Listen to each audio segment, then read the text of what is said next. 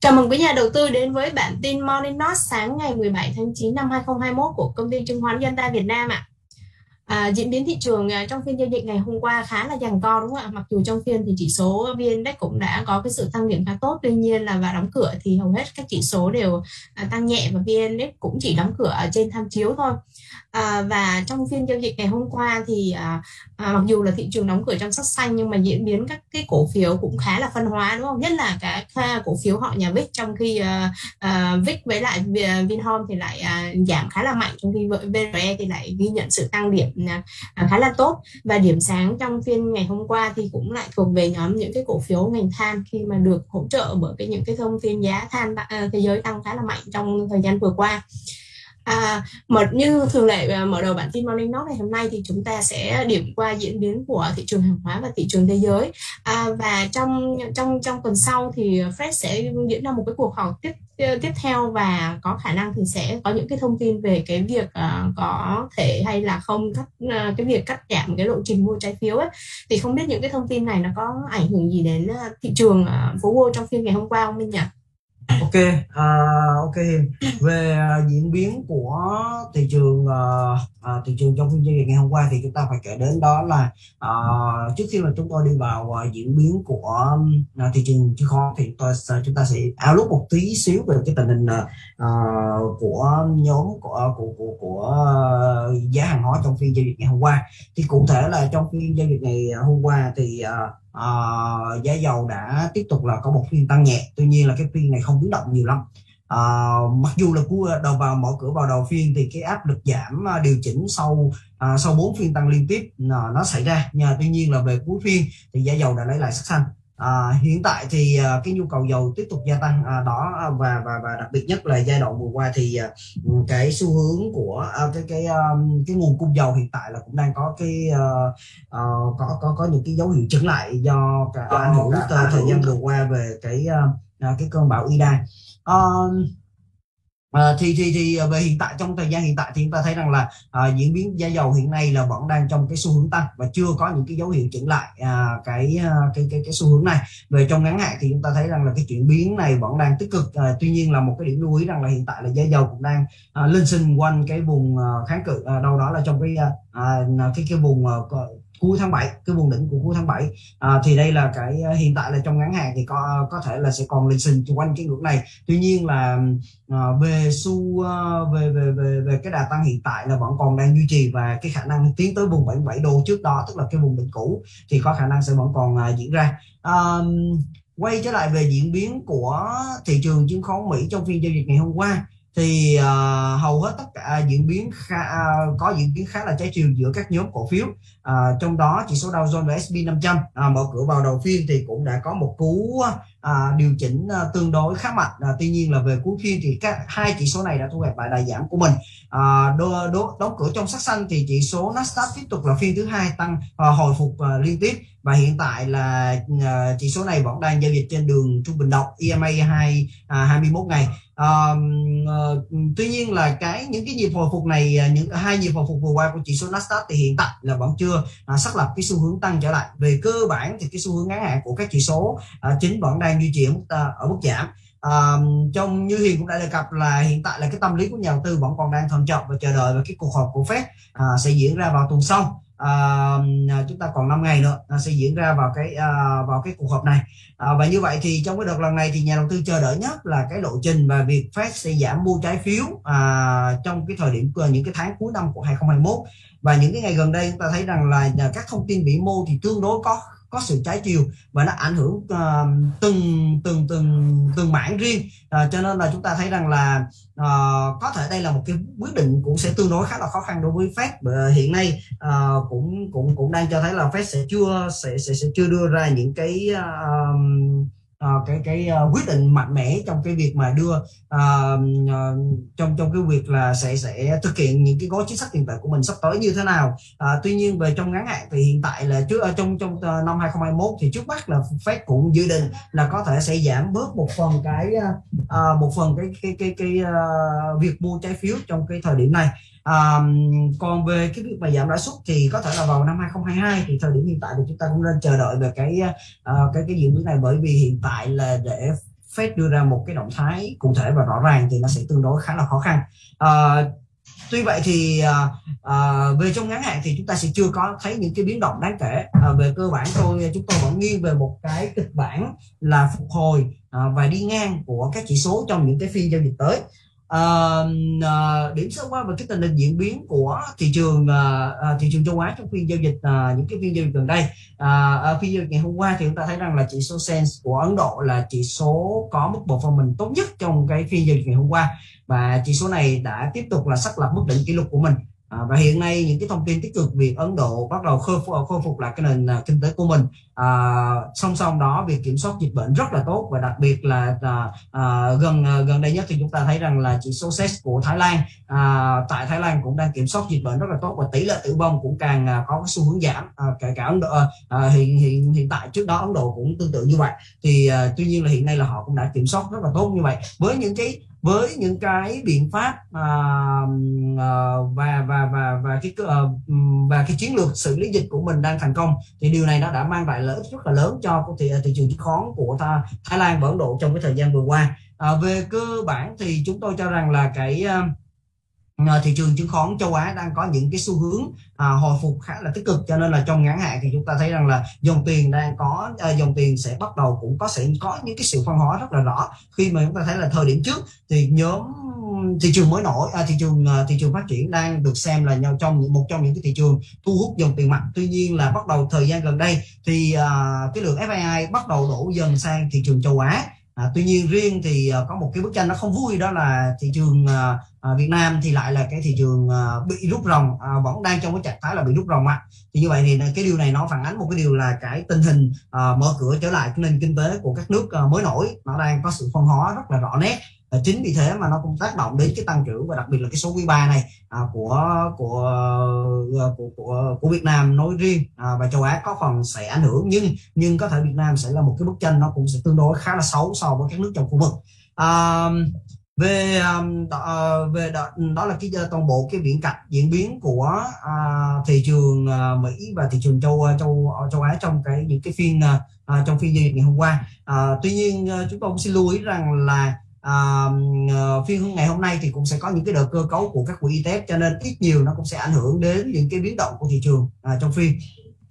À, ok, à, cảm ơn Minh à, đã chia sẻ về diễn biến của thị trường à, các à, thế giới cũng như các nước trong khu vực. À, quay trở lại như Minh cũng vừa mới chia sẻ là cái diễn biến của giao dịch khối ngoại tại các nước các thị trường khu vực Đông Nam Á trong những uh, thời gian gần đây thì khá là tốt. Tuy nhiên thì Việt Nam của chúng ta lại diễn biến khá là trái chiều đúng không ạ? Bởi vì cái tình hình uh, dịch cũng khá là phân hóa trong khi ở Việt Nam chúng ta giai đoạn vừa rồi thì cũng uh, khá là căng thẳng về cái tình hình dịch bệnh. Thì diễn biến giao dịch uh, khối ngoại trong phiên ngày hôm qua thì lại tiếp tục sau một cái phiên ngày phiên ngày hôm qua là à, hôm trước là mua mua ròng với giá trị rất là nhẹ thì phiên ngày hôm qua lại quay ra bán ròng rất là đột biến. Và và ngày hôm qua thì hầu hết là cái lượng bán ròng này là đến từ cổ phiếu VIX nếu mà không tính VIX thì có thể là cái lượng à, giao dịch khối ngoại có thể là gọi là cân bằng đấy. Thì à, mình có nhận xét gì về cái cái việc mà ngày à, trong phiên ngày hôm qua thì VIX bị bán ròng rất là lớn không nhỉ?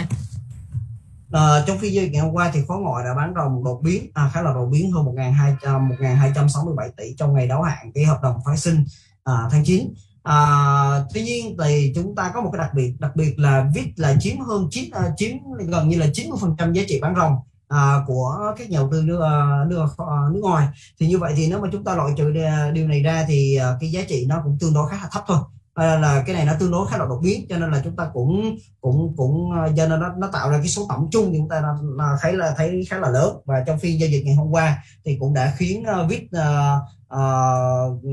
giảm rất là mạnh uh, vào uh, vào cuối phiên. Ờ, và phiên ờ, ờ, thì không biết là có nó nó có liên quan gì đến một phần nào đó đến các các, quỹ y tế hay không. Tuy nhiên là cái giá trị lớn bán lớn như thế này thì tôi nghĩ rằng là nó lại liên quan chủ yếu là từ động thái của một cái quỹ đầu tư nào đó họ bán họ đăng ký bán ra. Mà thông thường là những cái động thái của các quỹ đầu tư mà đối với cổ phiếu vít thì uh, nó sẽ liên quan ảnh hưởng trực tiếp lên uh, các họ các khoản đầu tư uh, trái phiếu chuyển đổi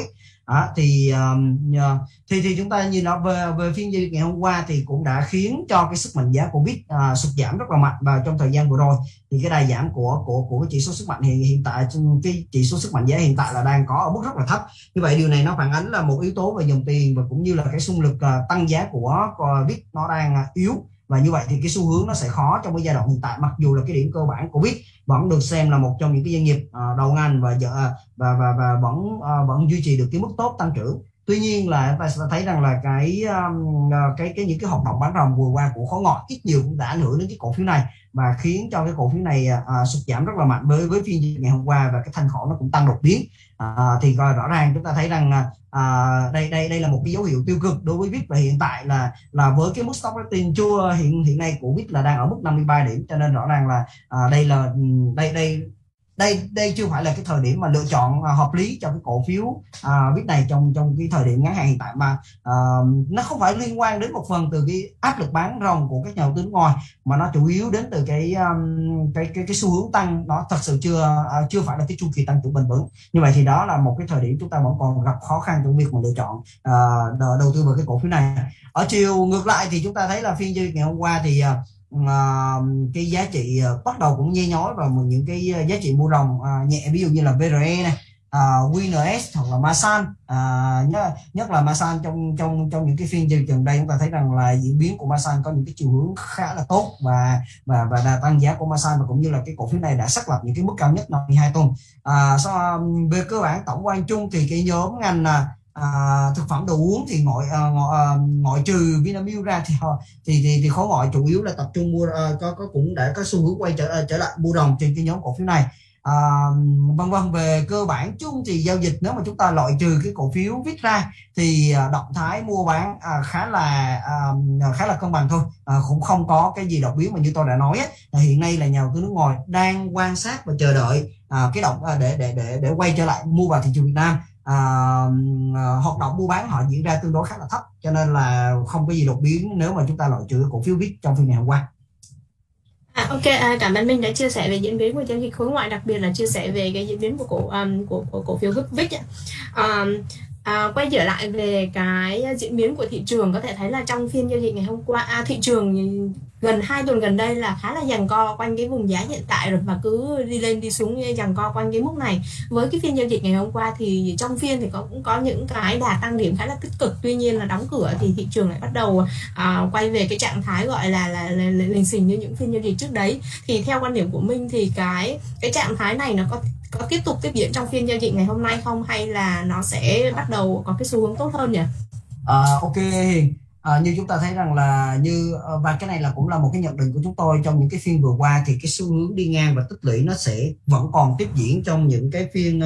uh, trong những cái phiên giao dịch tới. Uh, về hiện nay thì chúng tôi vẫn cho rằng là à, khả năng là chỉ số index sẽ còn thử thách tại cái vùng kháng cự là 1350 đến 1355 điểm trong phiên giao dịch kế tiếp đây. À, điểm tích cực mà chúng tôi nhận thấy rằng là hiện nay là dòng tiền đang có những cái dấu hiệu dịch chuyển vào cái nhóm cổ phiếu vốn hóa lớn cho nên là chúng tôi kỳ vọng là dòng tiền ngắn hạn có thể sẽ gia tăng trở lại trong cái vài phiên giao dịch tới. À, hiện nay theo quan sát của chúng tôi thì à, à với những cái phiên giao dịch giờ à, gần đây và đặc biệt là phiên giao dịch ngày hôm qua thì cái chỉ số VN Small Cap à, đang có à, đang có những cái dấu hiệu rủi ro tăng dần. Như vậy thì về cơ bản chung thì chúng ta thấy rằng là à, nhiều khả năng cái áp lực điều chỉnh sẽ quay trở lại cái à, gia tăng lên nhóm cổ phiếu này trong những cái phiên giao dịch tới. À,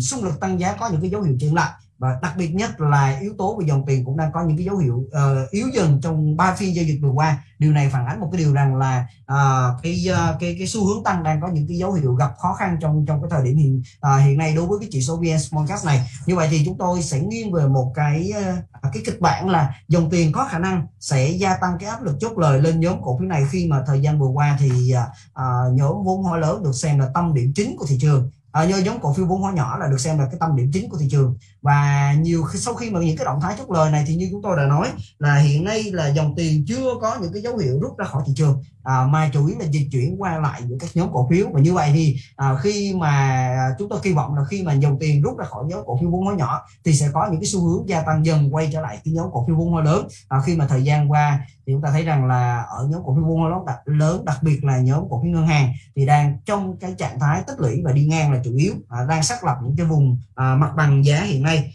thì do đó là chúng tôi đang kỳ vọng rất là nhiều vào cái thời thời gian tới thì cái nhóm cổ phiếu vốn hóa lớn sẽ có những cái chuyển biến tích cực hơn. À, về chiến lược trong ngắn hạn hiện tại thì chúng tôi à, à, đã vẫn duy trì là đánh giá xu hướng ngắn hạn ở mức tăng. Do đó là chính vì thế mà chúng tôi khuyến nghị các nhà đầu tư chúng ta vẫn nên nắm giữ cái tỷ trọng cổ phiếu cao trong danh mục và tận dụng những cái nhịp điều chỉnh để chúng ta cơ cấu lại danh mục bằng cách là à, các nhà đầu tư có thể thực hiện cái chiến lược trong giai đoạn này là chúng ta có thể xem xét chốt là một phần cái tỷ trọng ở những cái nhóm cổ phiếu vốn hóa nhỏ mà chúng ta đã đạt được cái tỷ suất sinh lời rất là tốt trong cái thời gian vừa qua à, trên trên 15 phần trăm. À, và đồng thời là chúng ta có thể cơ cấu dần và tăng dần cái tỷ trọng ở những cái nhóm à, à, tăng dần cái tỷ trọng vào những cái nhóm cổ phiếu vốn hóa lớn. À, trong đó là như là dòng à, à, ngân hàng chứng khoán và nhóm cổ phiếu ngành thép.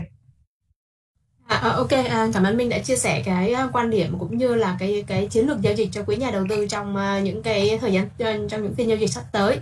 À, tiếp theo phần tiêu điểm cổ phiếu ngày hôm nay thì chúng ta sẽ đi đề cập đến một cái cổ phiếu thuộc ngành à, lĩnh vực à, bảo hiểm nhân thọ. Mặc dù là cái nhìn chung về cái nhóm bảo hiểm nhân thọ trong thời gian qua thì không không không có mấy tích cực à, ngược lại với cái nhóm bảo hiểm phi nhân thọ. Tuy nhiên thì riêng đối với DMI thì cũng có những cái catalyst riêng của cổ phiếu à, với cái động lực chính hiện tại có thể là cái vấn thanh cái, cái cái cái thông tin về việc thoái vốn sẽ là cái cái cái, cái động lực thúc đẩy trong ngắn hạn đối với cái cổ phiếu này thì uh, kết thúc cái phiên giao dịch ngày hôm qua thì cả cái uh, thì cái stock rating của uh, cổ phiếu đã trên cái mức 82 điểm và cái xu hướng ngắn hạn và trung hạn của cổ phiếu thì chuyển lên mức tăng. Uh, chúng ta điểm sơ qua về cái kết quả kinh doanh um, quý 2 vừa qua của uh, của của BMI thì uh, BMI ghi nhận là cái phí bảo hiểm gốc đạt 1.100 tỷ đồng tăng khoảng 10,3% so với cùng kỳ. Trong khi đó thì cái phí bảo hiểm thuần là đạt khoảng 896 tỷ đồng tăng khoảng 7,3% so với cùng kỳ à, và cái tỷ lệ giữ lại thì cũng à, nha, nha, giảm nhẹ so với cái à, ở cái mức là 7,72,2% so với cái mức là 74,9% à, cùng kỳ 2020 và cái tỷ lệ kết hợp là khoảng 97,8% tỷ lệ thất thoát là khoảng cỡ 34,9% và trong trong trong trong quý 2 thì cái thu nhập tài chính ròng của ờ, trong kỳ chỉ đạt khoảng cỡ 41 tỷ đồng thôi và giảm so với cùng kỳ là 41% và lợi nhuận à, sau thuế thuộc về cổ đông công ty mẹ đạt khoảng 50 tỷ đồng và ngang với cái mức cùng kỳ 2020 nếu mà tính về lũy, lũy kế 6 tháng đầu năm á, thì à, BMI đã ghi nhận cái và tổng phí bảo hiểm gộp đạt khoảng 2.175 tỷ đồng và tăng khoảng 7% so với cùng kỳ và cái lợi nhuận sau thuế thì đạt khoảng 120 tỷ đồng tăng khoảng 31,6% so với cùng kỳ năm 2020 thì à, BMI đặt mục tiêu là cái lợi nhuận trước thuế sẽ đạt đâu đó khoảng 277 tỷ đồng tăng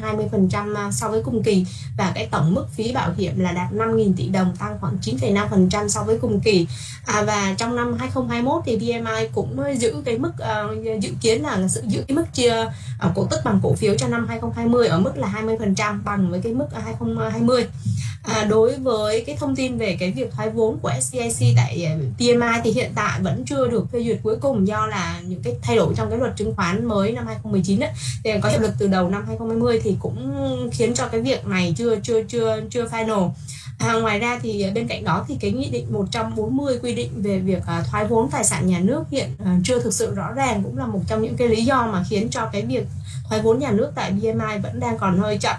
À, tuy nhiên thì chúng tôi cho rằng cái việc mà SCIC và ASA thoái toàn bộ 67% cổ phần tại SCIC sẽ là cái cái yếu tố thúc đẩy à, giá cho cổ phiếu BMI trong ngắn hạn à, với cái mức giá đóng, đóng cửa hiện tại á, thì mức PB của um, BMI là dự phóng khoảng cỡ 1,6 lần và cái mức stock rating của cổ phiếu là ở mức 82 lần. Và chúng tôi đánh giá tích cực đối với cái mức xếp hạng tăng trưởng của cổ phiếu này. À, tuy nhiên thì cái sức mạnh giá của BMI hiện tại à, đang khoảng uh, 70 73 điểm. Do nên là chúng tôi uh, cho nên các nhà đầu tư ngắn hạn chỉ nên à, xem xét giải ngân với cái tỷ trọng thấp dưới 5% thôi. Và khi nào cái sức mạnh giá mà trên 80 điểm thì chúng ta có thể xem xét giải ngân thêm.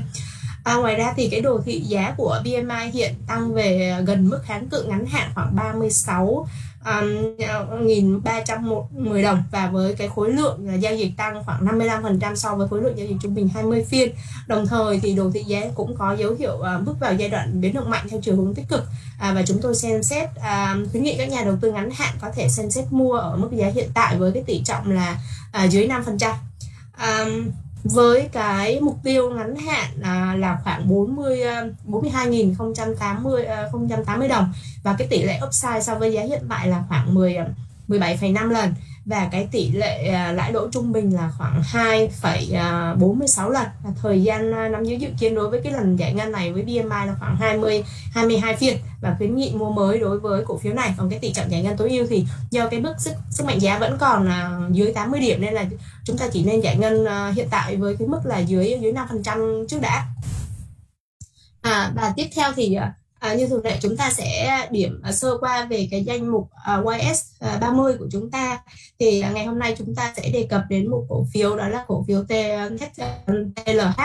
à, và mình có thể chia sẻ thêm về cái cổ phiếu TLH trong cái phiên uh, sau kết thúc phiên giao dịch ngày hôm qua. Thì cái cái cái tín hiệu phân tích kỹ thuật của cái cổ phiếu này có tín hiệu gì mới không nhỉ? Ok Hiền, uh, vào uh, TLH cũng là một trong những cái cổ phiếu mà chúng tôi đã khuyến nghị vào hôm ngày 31 tháng 8 trước đó à, thì đồng thời là TLH vừa qua thì cũng đã vào trong cái danh mục của S30 à, như chúng tôi đã có được ờ, review như các anh chị à, đã thấy. À, hiện nay là những cái nhóm cổ phiếu ngành thép như là Hòa Phát, Hoa Sen, Nam Kim, à, Nam Kim hoặc là TLH thì đây là những cái cổ phiếu nằm trong cái danh mục của à, YS30 thì cái mức stop rating hiện nay của YS30 của ờ, TLH đang ở mức là 88 điểm cho nên là chúng tôi vẫn duy trì đánh giá và tích cực về cái mức xếp hạng tăng trưởng cổ phiếu này. Hiện nay thì cái mức uh, uh, cái cái cái mức YS uh, à, mấy cái mức uh, sức mạnh giá của TLH cũng chưa phải là một cái mức điểm nóng cho nên là chính vì thế mà chúng tôi cho rằng là cái dư địa tăng giá của cái cổ phiếu này vẫn còn trong cái thời gian uh, trong uh, trong cái thời gian tới. Um, uh, À, à, về à, đồ thị giá của TLH đã có những cái bước phá hoàn toàn khỏi cái mô hình chủ nhật chủ nhật với cái khối lượng giao dịch vẫn trên mức trung bình 20 phiên. Uh, cho thấy là cái đồ thị giá vẫn đang trong cái giai đoạn biến động mạnh theo cái chiều hướng theo cái chiều hướng tích cực. À, đồng thời thì cái xu hướng ngắn hạn vẫn duy trì mức tăng và chúng tôi duy trì cái mức mục tiêu vẫn kỳ đưa ra kỳ vọng ngắn hạn cho à, cổ phiếu TLH là 24.000 à, 24.23 à, tức là khoảng 24.230 điểm. À, 230 đồng trong cổ cho cổ phiếu TLH À, do đó là khuyến nghị trong ngắn hạn thì với cái upside này thì nhiều khả năng là cái dư địa tăng giá của TLH vẫn còn. Ở đâu đó sắp xỉ upside là 7% so với cái giá hiện tại. Như vậy thì chúng tôi vẫn kỳ vọng là chúng tôi khuyến nghị các nhà đầu tư chúng ta có thể tiếp tục nắm giữ cho cái cổ phiếu này à, theo cái khuyến nghị trước đó. À, ok, à, cảm ơn Minh đã chia sẻ thêm về tín hiệu kỹ thuật của cổ phiếu TLH. Thì uh, trước khi đi vào cái phần um, trả lời các câu hỏi về cổ phiếu của quý nhà đầu tư thì chúng ta sẽ điểm sơ qua về cái danh mục uh, khuyến nghị ngắn hạn sau cái kết thúc phiên giao dịch ngày hôm qua thì ờ, đối với ờ, riêng đối với hôm nay thì chúng tôi khuyến nghị mua mới đối với cổ phiếu BMI mà chúng tôi đã đề cập ở trên rồi ha. Thì hầu hết các cổ phiếu còn lại trong danh mục thì chúng ờ, chúng tôi vẫn khuyến nghị là nắm giữ. Riêng đối với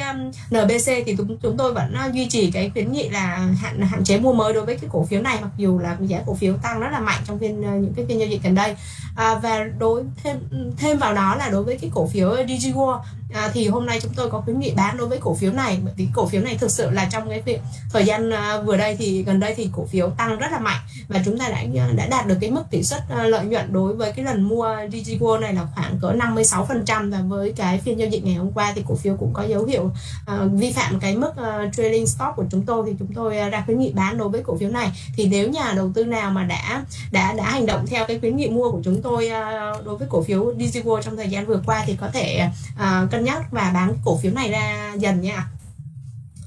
À, à, tiếp theo thì chắc chúng ta điểm qua về cái à, trả lời một số câu hỏi của quý nhà đầu tư nhé Minh. à, ok. Ok um, um, để, để để để trước khi mà chúng ta đề cập về cái này thì um, DigiWorld thì như uh, hôm nay thì chúng tôi đã có khuyến nghị bán về cái cổ phiếu DigiWorld do cái cổ phiếu này đã vi phạm cái mức trailing stop. Uh, vào phiên giao dịch ngày hôm qua thì DigiWorld đã có một phiên uh, giảm khá là mạnh uh, uh, và điều này nó đã ảnh hưởng đến cái xu hướng tăng hiện nay của DigiWorld cho nên là chính vì thế mà chúng tôi uh, xin khuyến nghị bán cổ phiếu này và loại cổ phiếu này ra khỏi danh mục. Và đồng thời vừa qua thì DigiWorld đã có một cái chuỗi tăng rất là tốt và chúng ta đã đạt được một cái tỷ suất sinh lời khá cao à, uh, 56 hơn 56 phần trăm. Như vậy thì uh, rõ ràng là tất nhiên chúng tôi cũng xin lưu ý rằng là DigiWorld hiện nay vẫn là một trong những cái cổ phiếu chúng tôi liên tục watchlist và đưa vào cái theo dõi khi những khi mà chúng ta có cái điểm mua mới vào. Thì uh, chúng tôi sẽ uh, sẽ sẽ tiếp tục khuyến nghị cái cổ phiếu này cho đến khi mà chúng ta có những cái động thái những những những cái uh, tín hiệu mới. Còn uh, vì một phần là như tôi chúng tôi đã đề cập rất là nhiều lần trong cái thời điểm trước á, là DigiWorld là họ luôn luôn uh, có mức điểm duy trì cái tăng trưởng rất là cao cho nên là chính vì thế mà luôn luôn nằm trong cái danh mục quán của chúng tôi. À, ngoài ra thì cái cổ phiếu NBC hiện nay uh, đã à, đã rơi vào cái giai đoạn à, chúng tôi gọi là giai đoạn là dư địa tăng trưởng nó không còn nhiều nữa như vậy thì hiện nay thì chúng tôi xin khuyến nghị là chúng ta không nên mua mới à, hạn chế mua mới đối với cái cổ phiếu này à, NBC à, NBC đã có cái chủ tăng vừa qua rất là tốt và hiện tại chúng ta đã à, chúng tôi đã đạt được cái mức tỷ suất sinh lời rất cao là 106.45% như vậy thì chúng tôi vẫn khuyến nghị các anh chị là giai đoạn này chúng ta cần phải tiết chế việc mua vào cái cổ phiếu này và thay vào đó là chúng ta có thể ưu tiên cho cái vị thế nắm giữ hoặc là chúng ta có thể xem xét chốt lời một phần cái tỷ trọng mà chúng ta nắm à, nắm giữ cái cổ phiếu này và nắm giữ cái phần còn à, còn còn lại để chúng ta chờ à, hưởng lợi theo cái xu hướng tăng. Cho đến khi nào mà cái tín hiệu bán được hình thành thì chúng ta có thể thoát khỏi à, hoàn toàn toàn bộ cái tỷ trọng còn lại. Ha thì uh, uh, tỷ trọng phù hợp vẫn là như chúng tôi đã đề, đề cập á, à, có thể là 50 phần trăm hoặc là dưới 50 phần trăm cái tỷ trọng mà chúng ta nắm giữ NBC nó tùy vào cái uh, cái cái cái uh, cái nhu cầu của các uh, của các anh chị. Như vậy uh, nhưng mà với cái tỷ suất sinh lời như thế này thì tôi nghĩ nó là một cái tỷ suất sinh lời rất là happy rồi. Để mà chúng ta có thể xem xét là nên chốt lời 50 phần trăm cái tỷ trọng mà chúng ta đang nắm giữ trên cổ phiếu NBC hiện nay thì vẫn còn nhiều cái cổ phiếu vẫn có mức tỷ suất sinh lời âm. Tuy nhiên là à, chúng tôi à, hiện tại là về tổng quan chung danh mục của chúng tôi vẫn đang đạt cái mức tỷ suất sinh lời dương cho nên là cái rủi ro à, trên danh mục nó vẫn chưa có phải là một yếu tố rủi ro hiện nay chúng tôi lo ngại. À, và ngoài ra thì chúng tôi có khuyến nghị mua đối với cái cổ phiếu BMI mới ờ, cổ phiếu mới ngày hôm nay. Nhưng mà chúng tôi xin lưu ý do cái ờ, à, cái chỉ số sức mạnh giá hiện tại vẫn còn đang dưới mức 80 như vậy thì đây vẫn chưa phải là cái chu kỳ à, tăng à, tăng nóng của à, tăng tăng trưởng mạnh của BMI uh, à, tăng trưởng à, gọi là bước vào cái chu kỳ tăng nóng của BMI như vậy thì chúng ta chỉ nên chỉ nên dành cái tỷ trọng thấp dưới 5% thôi. Cho đến khi nào mà à, BMI bước vào cái pha tăng trưởng mạnh hơn thì chúng ta lúc đó là chúng ta có thể gia tăng thêm cái tỷ về mức tỷ trọng giải ngân tối ưu cho cái cổ phiếu này. À, thì các anh chị có thể tham khảo thêm trong cái bản tin à, trong trong trong cái bản tin money nó của chúng tôi. À, à, ok à, cảm ơn Minh. À, tiếp theo thì trả lời câu hỏi của quý nhà đầu tư thì đầu tiên có có có bạn uh, Dung Chi bạn có hỏi là Minh xem giúp P, um, Phú Tài ạ. TTB ừ. chiều mua BTB đúng không? À, chiều mua đúng, đúng chắc không? là do thông tin về giá gỗ okay. tăng mạnh trong bây giờ đây đấy. Giờ thì chúng ta sẽ à, chúng ta sẽ sẽ sẽ uh, sẽ đề cập nhiều cái uh, đối với uh, uh, BTB á thì uh, như thế này BTB thì hiện tại thì chúng ta các, à, các anh chị có thể thấy là trên cái à, cái cái phần à, stock rating hiện nay của BTB đang giao dịch ở mức 84 điểm thì hiện tại là chúng tôi vẫn đánh giá về cái mức tích cực cho tăng trưởng của cái cổ phiếu này. À, tuy vậy thì BTB thì tôi cho rằng là BTB đây là một cái cổ phiếu mà rất là phù hợp để mà chúng ta xem xét mua nắm giữ à, dài hạn được. Bởi vì tôi cho rằng là BTB có nhiều họ có kinh kinh doanh rất là à, giống như là họ giống như là holding vậy tức là có rất là nhiều cái mảng kinh doanh à, tất nhiên là họ là một trong những doanh nghiệp địa phương. À, tuy nhiên là phú tài có hai cái thế mạnh lớn đó là cái mảng à, mảng gỗ và mảng đá Đấy. À, đối với mảng gỗ thì à, trong 6 tháng đầu năm vừa qua thì họ hưởng lợi rất là tốt. À, nhờ cái à, nhờ cái giá gỗ xuất khẩu của họ cũng tăng trưởng mạnh nè. À, ta thấy biết là cái work from home cho nên là cái nhu cầu mà à, sở hữu đồ nội thất à, sinh trong cái thời gian trong trong trong à, trong những cái à, à cuối năm 2020 và và và 6 tháng đầu năm 2021 ta thấy là cái nhu cầu rất là gia tăng nhu cầu gia tăng cho nên là họ uh, cho nên là, là phú tài cũng hưởng lợi bởi cái xu hướng này. Thì uh, điểm sáng đa phần trong cái kết quả những cái kết quả hai quý vào đầu năm vừa qua ta thấy là điểm sáng đến phần lớn chủ yếu là đến từ cái mảng gỗ. À, mảng đá thì cũng sẽ còn còn nhiều cái catalyst khi mà chúng ta thấy rằng là à, chính phủ cũng đang đẩy mạnh về cái việc hoạt động hoạt động đầu tư công. À, nhờ, thì do đó là à, đây cũng sẽ là yếu tố mà nó tác động uh, tích cực lên uh, lên lên lên phú tài. Uh, họ sẽ có nhiều cái mảng uh, kinh doanh. Hiện nay thì uh, nói chung là ảnh hưởng từ cái covid quý 3 thì ít nhiều nó cũng sẽ ảnh hưởng đến cái sản lượng sản xuất của uh, của phú tài. Chắc chắn là điều này nó sẽ xảy ra. Uh, tuy nhiên là như chúng, chúng tôi đã đề cập uh, phú tài là một trong những cái doanh nghiệp họ có rất là nhiều mảng kinh doanh họ có thể diversify cái rủi ro uh, rủi ro của mình. Uh, nhưng cái ảnh hưởng đến cái quý ba vừa qua là có thể có nhưng mà họ có thể sẽ sẽ sẽ bù đắp vào những cái khoản ví dụ như là đến từ à, đầu tư tài chính gì thì có thể là nó sẽ có cái phần à, bù đắp đó. À, về tổng quan chung thì tôi cho rằng là với cái tình hình tăng trưởng của phú tài trong nhiều năm liên tiếp luôn duy trì cái điểm cơ bản trên 90 thì tôi cho rằng đây là một cổ phiếu rất phù hợp để chúng ta xem xét cho cái việc mà mua nắm giữ trong uh, trong chung và dài hạn. Đây là một cái cái case đầu tư tăng trưởng rất là bền vững à, tôi cho rằng là à, chúng ta là một trong những à, doanh nghiệp tăng trưởng khá là bền vững. Và mặc dù vậy thì nó tức là nếu mà chúng ta nhìn vào cái việc mà ừ, cái chiến lược là nếu mà lựa chọn gọi là phú tài để lướt sóng hay là chúng ta mua nắm giữ là để đó à, tức là cái cái cái cái cái, cái, cái chiến lược đầu tư gọi là uh, trung và dài hạn á, thì uh, tôi cho rằng là phú tài lại phù hợp với cái việc mua nắm giữ tích lũy hơn là cái việc mà chúng ta mua lướt sóng. Vì thường là cái uh, uh, cái cái cái cái diễn biến của phú tài trong ngắn hạn á, trong ngắn ờ, trong ngắn hạn nó sẽ không nó sẽ không strong hơn so với nó sẽ không ờ, không không không không có strong so với các cổ phiếu khác. Như vậy thì uh, uh, anh hỏi là nếu có mua được không thì tôi đặt ra hai cái vấn đề là nếu chúng ta mua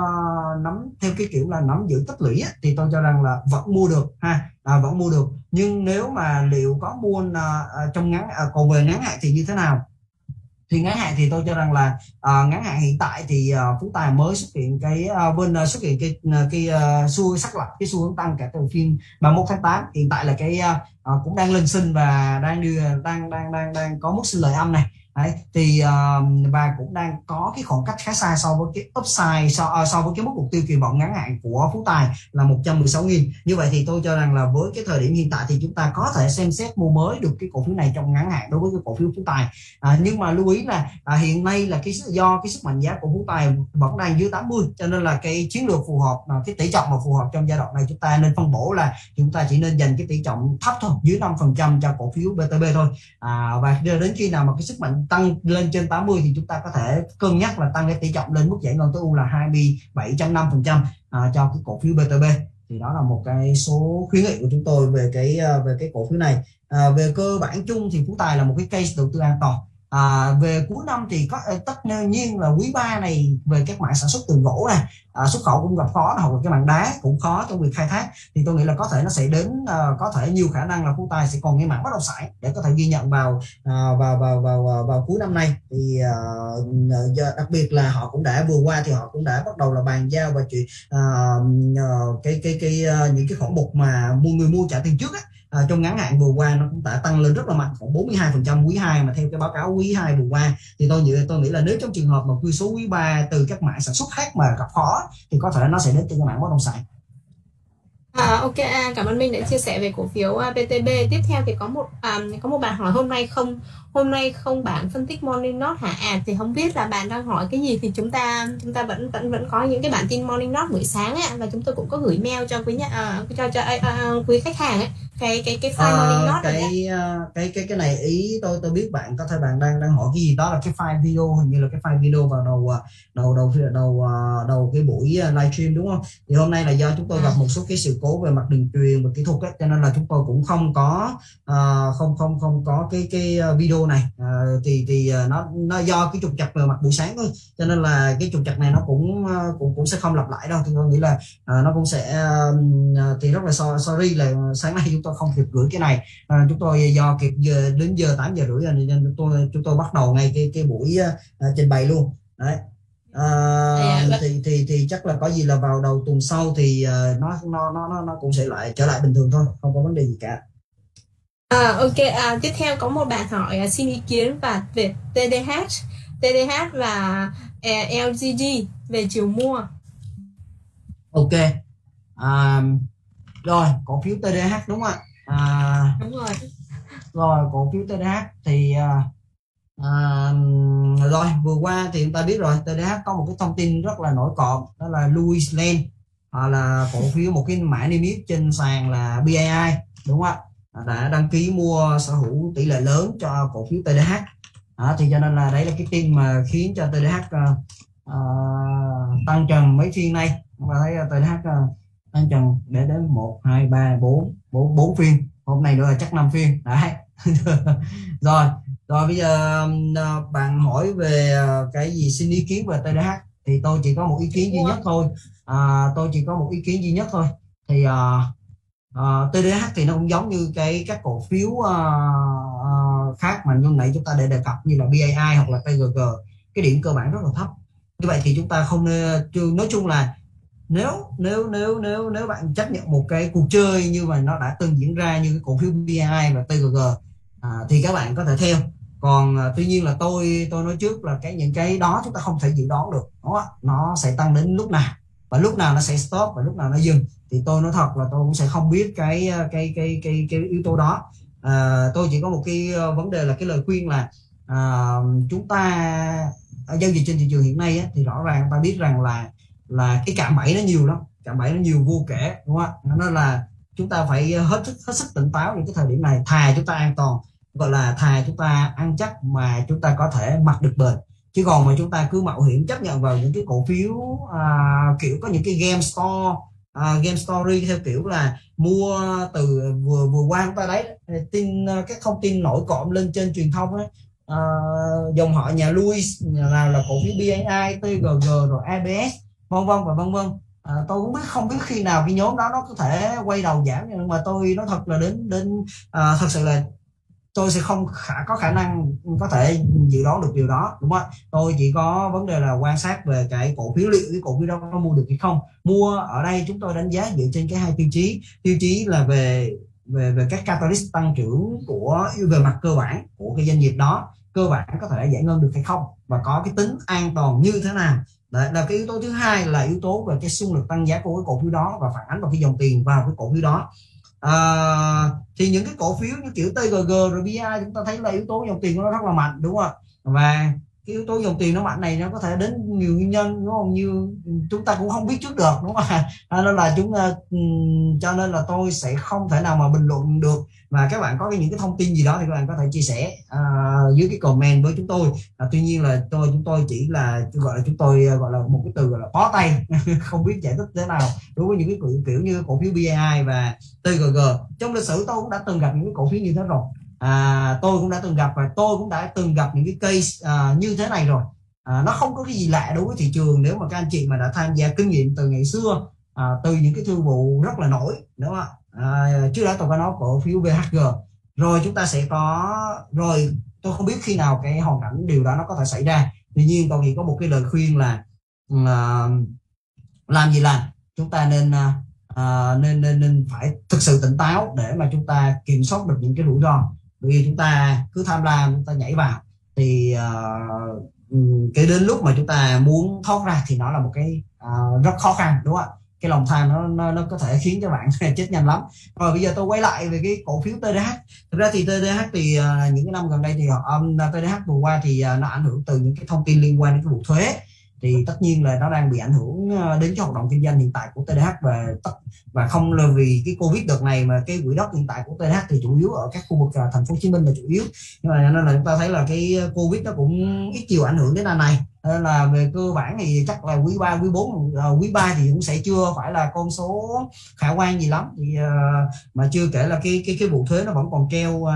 treo trên đầu như thế. Nên là chắc chắn nó vẫn còn ảnh hưởng trong ngắn hạn nên là uh, trong trong trong cái giai đoạn năm 2021 này nên hiện tại thì tôi cho rằng là tôi vẫn đánh giá về cái cái cái sự thận trọng trong cái cổ phiếu này. Cho nên là tôi cũng sẽ không khuyến nghị à, bạn à, nguyên mua vào cái cổ phiếu này đâu. Đó là cái à,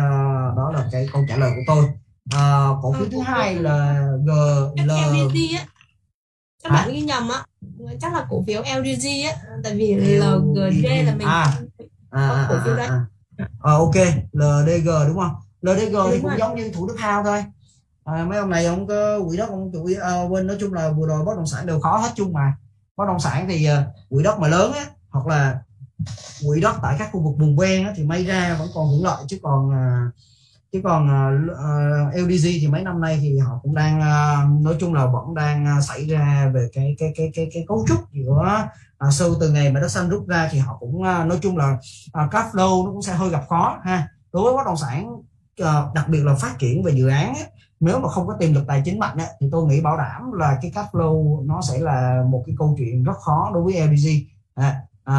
LDG nói chung à, no, no, LDG nói riêng và những cái uh, doanh nghiệp bất động sản mà um, gọi là mid cap ấy, mà mà mà mà nó uh, thì thì thì tôi nghĩ là nó sẽ ảnh hưởng đến cái cash flow đợt này à, khá là khó Đấy. À, trừ khi mà khi mà tình hình dịch ổn xong rồi thì bắt đầu tôi nghĩ là nó sẽ là một cái bức tranh là chuyển nhượng dự án để để có thể hoặc là phát hành à, phát hành cổ phiếu để trong cái việc mà tăng cái vốn để tăng cái cái cái cái, cái cash flow của các doanh nghiệp này lên. Thì như vậy sức khỏe nó mới bắt đầu dần ổn lại. Thì tóm lại là đối với những cái doanh nghiệp mà có cái à, cái, cái cái tình hình dòng tiền khó như LDG ấy, thì tôi nghĩ là chắc là phải à, hết năm nay rồi rồi mới tính đến cái chuyện tiếp. Nên hiện tại là nếu mà bạn mua bán thì tôi nghĩ là nó chỉ đầu cơ ngắn thôi. Chứ còn tôi nói thật cũng có lời khuyên là không nên cũng không nên uh, chú ý vào cái cổ phiếu này cái catalyst cũng có gì đâu. Uh, cơ bản cũng thấp mà do uh, sức mạnh giá cũng cực kỳ thấp. Tóm lại là cũng không có một cái catalyst đủ lớn để mà để mà chúng ta chú ý vào cái cổ phiếu này. Là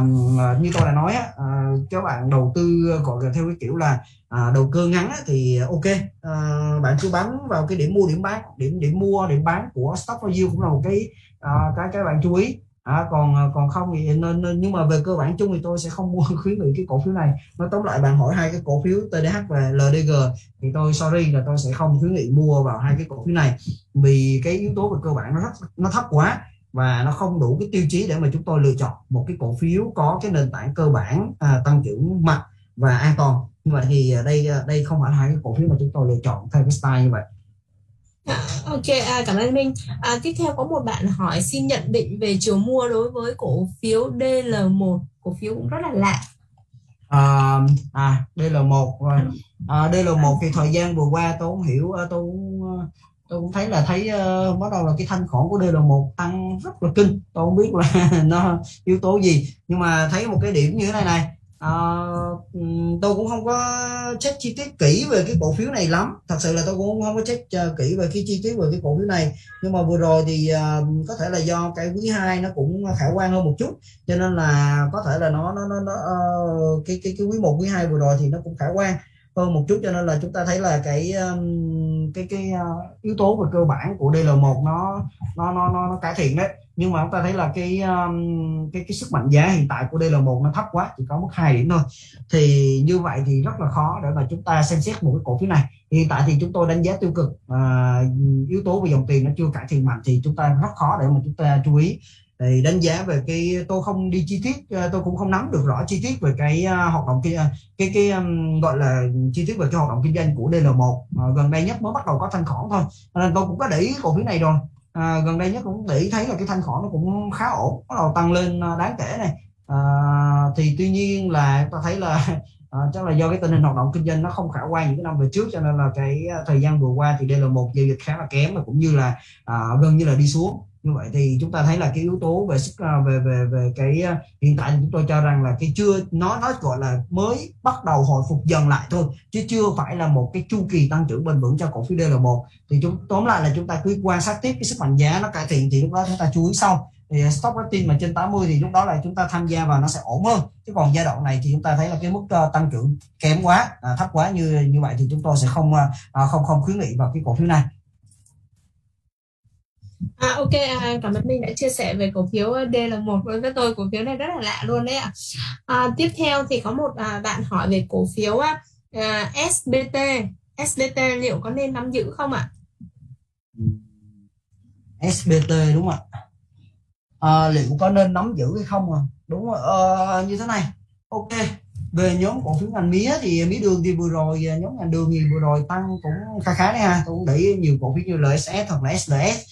à, đối với SBT thì à, à, về điểm cơ bản thì không có gì để nói rồi họ duy trì rất là ổn như cái à, thời gian à, vừa các quý vừa qua. À, tuy nhiên là đối với à, hiện nay thì à, à, chúng ta thấy rằng là hiện tại là cái stop rating hiện nay của chúng tôi đánh giá là cái trung tính của cổ phiếu này thôi. Có nghĩa là chưa phải là cái pha tăng trưởng mạnh cho cái cổ phiếu SBT nó chỉ là ở trong cái giai đoạn là tích lũy à, là chủ yếu cho nên là hiện nay thì nếu mà bạn hỏi muốn mua mới cái cổ phiếu này thì chúng tôi à, đánh giá như thế này này nếu mà trong ngắn hạn thì xu hướng giảm nó vẫn đang đánh à, nó nó vẫn đang duy trì này đấy. À, do đó là chính vì thế mà chúng à, chúng tôi cho rằng là chúng ta chưa nên chú ý à, giai đoạn này thì tạm thời là chúng ta chưa nên chú ý vào cái cổ phiếu này. À, trước mắt là chúng ta cứ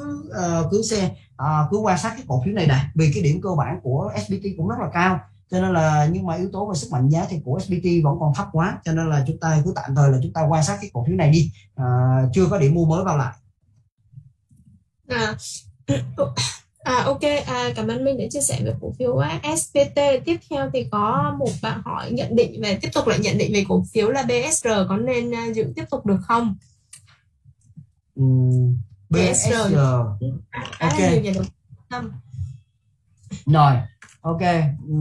biết về à, cái này. Rồi BSR hỏi có nắm giữ được hay không đúng không thì à, thì à, như thế này BSR á, thật ra cái xu hướng của BSR nó phụ thuộc vào giá dầu lắm.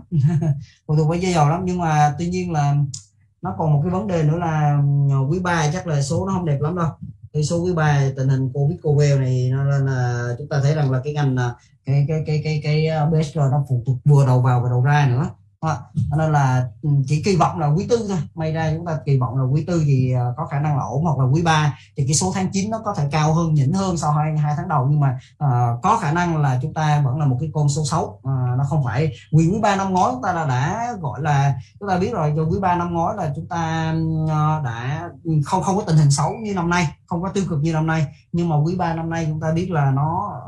việc giãn cách kéo dài chắc chắn là cái hoạt động sản xuất kinh doanh và cái cái cái cái cái, cái kinh doanh chắc chắn là sẽ gặp khó. Nên là bình sơ thì tôi nghĩ là quy số quý ba thì nó cũng không phải là số đẹp đâu. Nên là tổng quan thì trước mắt là việc chúng tôi lựa chọn một cái cổ phiếu cái điểm cơ bản thấp như thế này thì chúng tôi sẽ không lựa chọn được cái cổ phiếu này. Tôi có lời khuyên là À, thật ra thì ờ, bạn tùy quan điểm của các bạn thôi nhưng mà tôi lại không lựa chọn không không không khuyến nghị lựa chọn vào cái cổ phiếu có cái điểm cơ bản thấp như thế này. Bởi vì uh, cái mức nền cơ bản thấp như thế này thì chúng ta khó có một cái cái cái, cái catalyst tăng trưởng bền vững cho cái cổ phiếu này lắm đối với hiện nay là kể cả cái yếu tố về dòng tiền của BSR cũng không phải là cao. Cho tóm lại cái stock rating của chúng tôi đánh giá là uh, trung tính về cái cổ phiếu này thôi chứ chứ chứ không phải là một cái uh, cái cổ phiếu uh,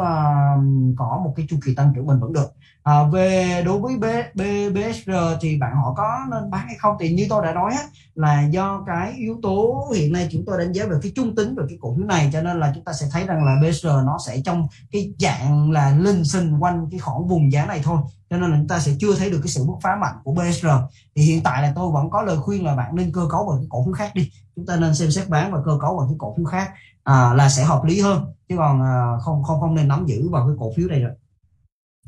À, ok, à, cảm ơn Minh. À, tiếp theo thì có một bạn hỏi về cổ phiếu là PET với lại GVR chiều uh, chiều giữ mua, chiều giữ mua là sao? À, rồi ok, tức là chiều giữ đó. Ừ, à, rồi PET và GVR đúng không? PET giữ được. Ừ, à, à, hiện à, liệu có thể mua thêm được hay không? Rồi ok, à, để tôi thử xem có thể có thể mua thêm được hay không. PET thì vẫn giữ được ha. Nói chung là à, tất nhiên là số quý 3 nó cũng cái ờ, cái mảng phân phối cái số quý 3 thì cũng không phải là thực sự tốt cho cho cho bé à, tuy nhiên là tôi cho rằng là bé thì nhu cầu ờ, về cái nhu cầu nó vẫn khá tốt cho nên là tôi nghĩ là đối với bé thì vẫn vẫn vẫn vẫn là vẫn có thể nắm giữ được cho cái thời điểm hiện tại. Vậy thì có thể mua mới thêm được nữa hay không thì nói chung là kỳ vọng vào số quý 4 à, kỳ vọng vào cái tăng trưởng quay trở lại quý 4 thì tôi cho rằng là cái hiện tại là bet mới tăng nhẹ thôi chứ chưa có phải tăng tăng tăng nóng quá cho nên là chúng ta vẫn có thể cân nhắc mua được cái vùng giá hiện tại với cái mức kỳ vọng của chúng tôi là 31.700 Đấy, cái mức mục tiêu kỳ vọng có nghĩa là bet vẫn có thể xem xét được ha. Rồi ừ, à, GVR GVR thì cái cổ phiếu này à, cổ phiếu này thì chúng tôi cũng đã có khuyến nghị thời gian trước rồi. À, GVR thì cũng chưa tăng là mấy và thậm chí là còn đang lỗ nhẹ nữa à, đối với bất động sản khu công nghiệp thì tôi nghĩ rằng là à, thật ra là bây giờ là hiện tại là vẫn đang nằm trong nhà nhóm ngành hóa chất và cao su ha à, cao su hóa chất. À, tuy nhiên là GVR trong tương lai thì sẽ bắt đầu dịch chuyển dần sang cái mảng là bất động sản khu công nghiệp thì tôi nghĩ là mà mà nói chung là vừa rồi thì ít nhiều là trong khu vực miền Nam thì cái bất động sản khu công nghiệp nó cũng hơi ảnh hưởng một chút. Thì tôi nghĩ là nó nó nó cũng khiến cho GVR trong thời gian vừa qua chưa chưa tăng mạnh. Nhưng mà kỳ vọng là số quý tư nó có thể sẽ khả quan hơn. Thì như vậy thì ờ, chúng tôi kỳ vọng là cái số quý tư à, có thể có thể sẽ giúp GVR cải thiện được cái cái cái ờ, cái, cái uh, tình hình à, vừa qua. Mà tất nhiên là cái giá cho thuê của bất động sản khu công nghiệp hiện nay nó cũng đã tăng rất là mạnh rồi. Ờ, GVR họ có quỹ đất lớn mà. Nên tôi tôi cho rằng là GVR nó sẽ rất là phù hợp style là cả ngắn và trung hạn luôn. À, à, ok à, cảm ơn Minh. À, tôi bổ sung thêm liên quan đến cổ phiếu GVR thì chiều nay chúng tôi có một cái à, talk show về cái lĩnh vực à, bất động sản khu công nghiệp. Thì trong đó thì GVR cũng là một trong những cái cổ phiếu mà gọi là có những cái catalyst trong cái mảng này. Thì nếu như mà bạn quan tâm đến GVR hoặc là quan tâm đến cái mảng bất động sản khu công nghiệp á thì à, chiều nay à, vào lúc 15 giờ 30 á thì bạn có thể ghé lại fanpage của Jonta để theo dõi nha. Thì theo quan điểm của chúng tôi thì cái mảng mà bất động sản khu công nghiệp nó sẽ có những cái catalyst trong ờ, trong trong ờ, trong quý tư cũng như là trong năm 2022 bởi vì cái thời gian vừa rồi thì cũng cũng khá là bị ảnh hưởng rồi. À, và và mặc dù là cái triển vọng FDI của chúng ta trong đã có những cái dấu hiệu khởi sắc á, thì bạn có thể uh, theo dõi thêm chiều nay để nắm thêm cái thông tin về cái cái cái cái mạng này cũng như cái cổ phiếu GVR nha. À, tôi bổ sung thêm cái ờ, bất động sản khu công nghiệp một chút là thời gian gần đây thì bắt đầu là nhà đầu tư cũng có đặt câu hỏi với tôi và cũng email đến tôi rất là nhiều là liệu bất động sản khu công nghiệp có ảnh hưởng vừa qua mà chúng ta bị uh, bị bị bị ấy không? Bị bị uh, bị thực hiện cái việc uh, giãn cách hoặc là sắp tới là là là là các doanh nghiệp FDI họ có không lựa chọn Việt Nam nữa hay không? Bởi vì đọc tin tức trên báo chí thì cũng thấy rằng là uh, kêu là uh, là các doanh nghiệp FDI họ hoãn lại cái việc mà quay Việt Nam à, thực ra như thế này các anh chị. À, tức là như thế này. Thực ra cái việc mà lựa chọn cái dịch chuyển vào một cái ờ, thị trường à, vào một cái thị trường á, thì nó tôi tôi nghĩ rằng là đúng là bây giờ mà nếu mà nhìn vào Việt Nam thì cũng đang hơi hơi ngại thật. Không biết là có nên chuyển qua hay không bởi vì đang à, nói chung là cái năng lực của năng lực mà xử lý dịch hiện tại của chúng ta vẫn còn đang khá là yếu và so với các quốc gia khác. Ví dụ như là Thái Lan này. Thái Lan là một trong những cái đối thủ mà cũng cạnh tranh với chúng ta về về về thu hút làn sóng FDI hoặc là Indo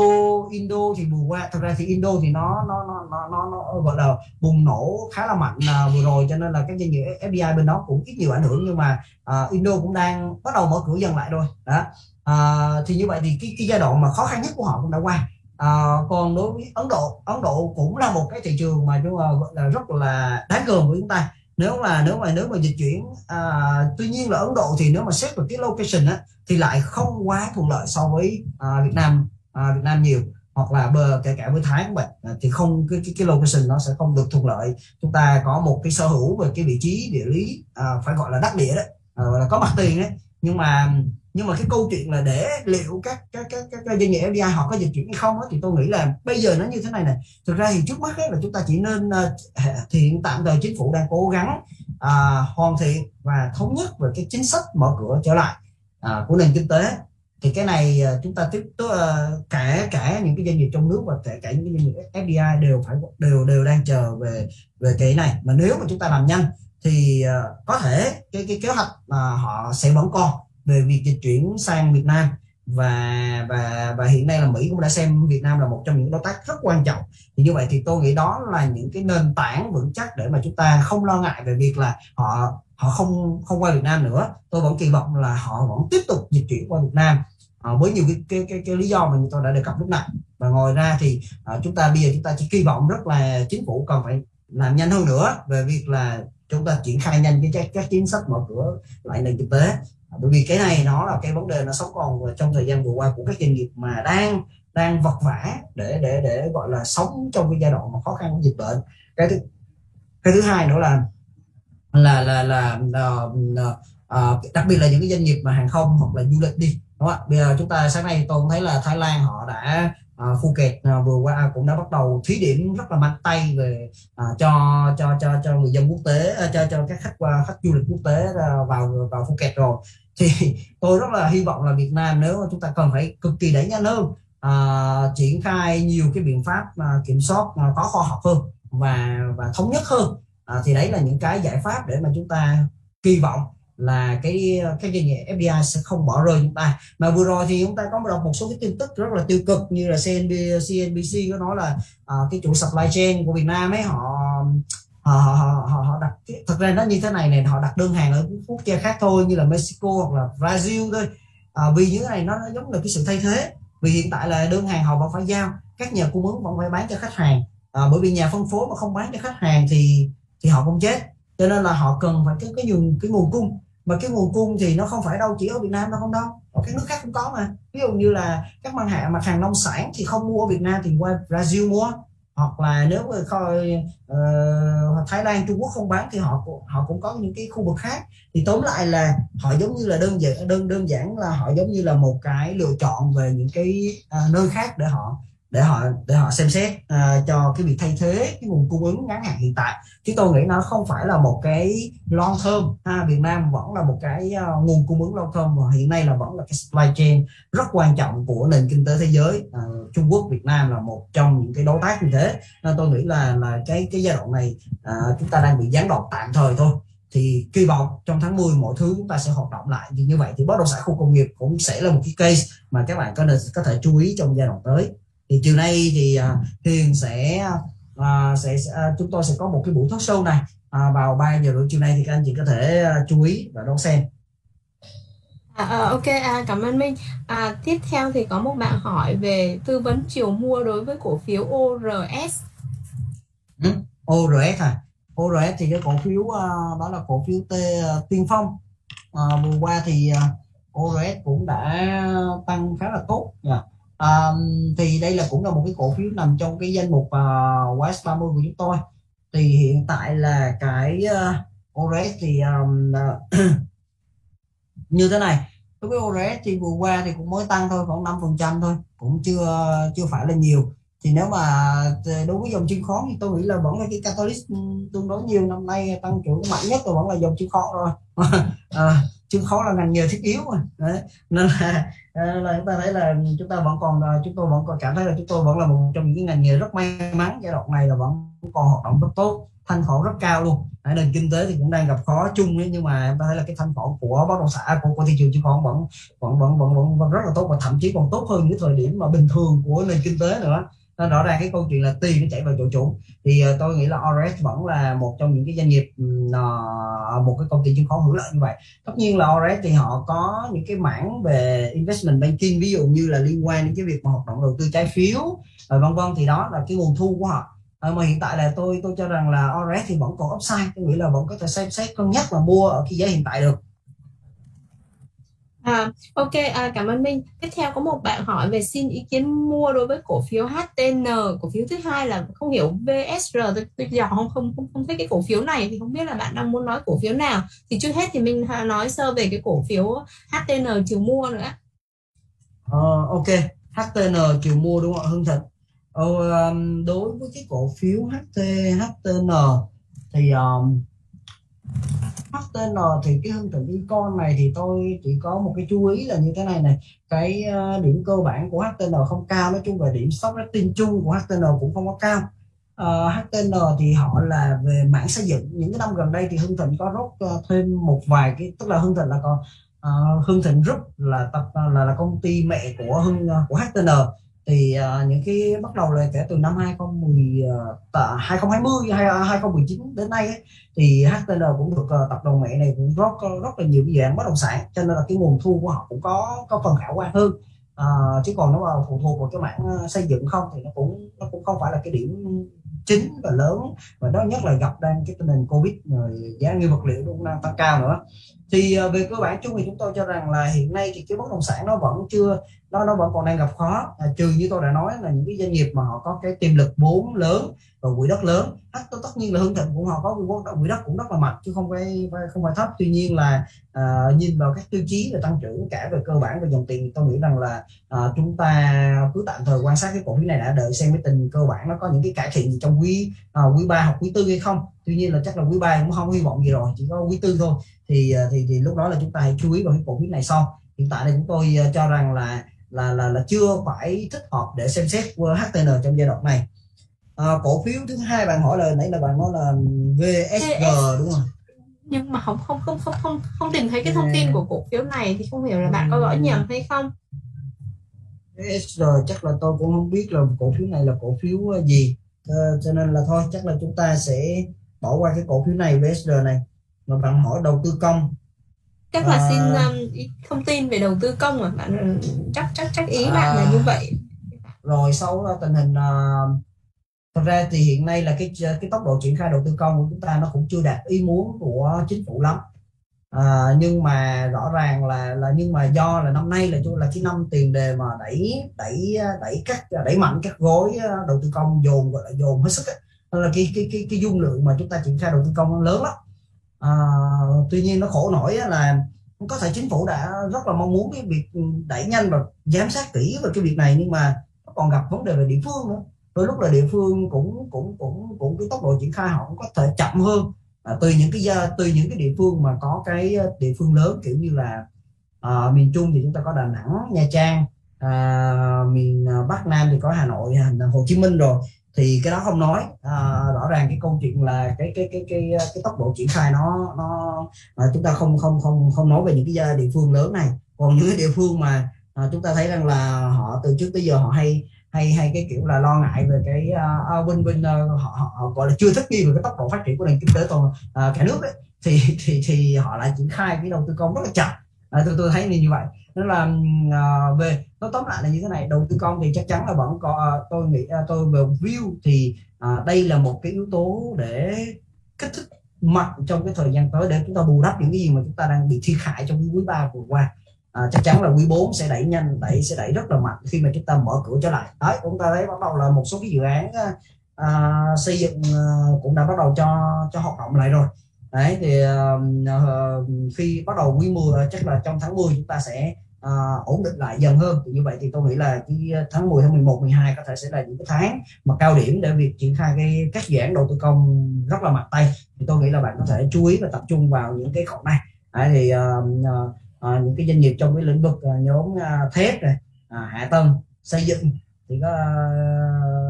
à, nguyên vật liệu như là xi măng đấy những cái, hoặc là nhựa đường đấy. Thì đó là những cái cái cái doanh nghiệp mà chúng ta có thể chú ý vào trong cái lĩnh vực đầu tư công.